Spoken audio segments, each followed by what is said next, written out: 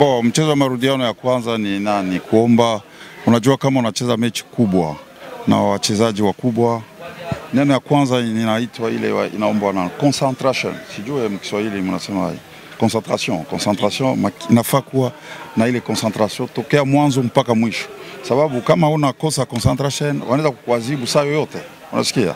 Ile ni ya kwanza, na ile ilitokea goli ya pili ni kukosa nani? Concentration eh, concentration ile goli ndio ilitupatia tatizo. Me sasa tunasafiri, tunajua kama hatuna solution ingine eh, ya kuingiza goli mbili eh, goli mbili au tatu. Haiko sema sababu hatuyaingiza goli mbili au tatu kia itatokeaka eh, ni mpia ni mpia, mambo mingi yanapitikana katika mpia eh, ile ilitutokea si inaweza ikawatokea nao ndani ya mchezo, na ile shi tunafanya mazoezi yote hapa tokea tulicheza mechi. Hii, mazoezi yote tunafanya ni namna ya kucheza ile wanaita attack kwa kuweza ku, kuingiza magoli. Kuingiza magoli. Deja tulisha ya mechi yote tulienda nje tuliingiza goli moja, na sijui sababu gani haiwezekane tuweze kuingiza goli moja au mbili. Meme au tatu.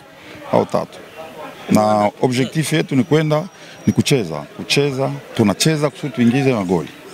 Mmejiandaaje na hasa wachezaji kisaikolojia? Maana wa Misri mara nyingi wanakuwa na michezo ile ya sintofahamu, wanasema figisu figisu nje ya uwanja kwa ajili ya kwa changanya kisaikolojia.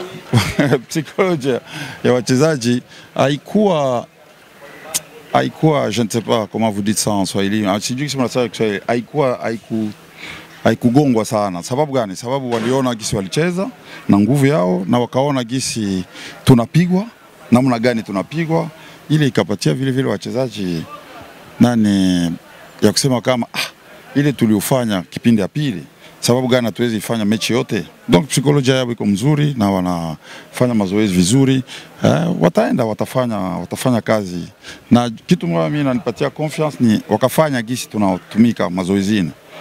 Ah, Hakuna kitu kinaweza kutu, kutupatia matatizo kumechi ya nafaa tu wafanye na wakafanya ita, ita, mambo itapita vizuri.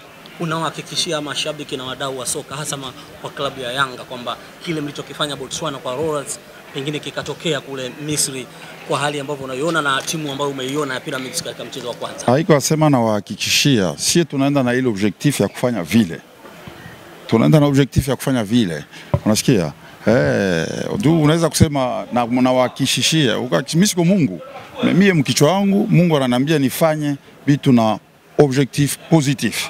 Unasikia, positif ni kusema kama naenda mimi naenda kule, siwezi pigwa, naenda kucheza niweze niwine. Unasikia, na ile eh, siwezi wahakikishia sema akishishia, unasema ukakishishi ni kusema kama ikanyesha haikunyesha, inawaambia itakuwa vile.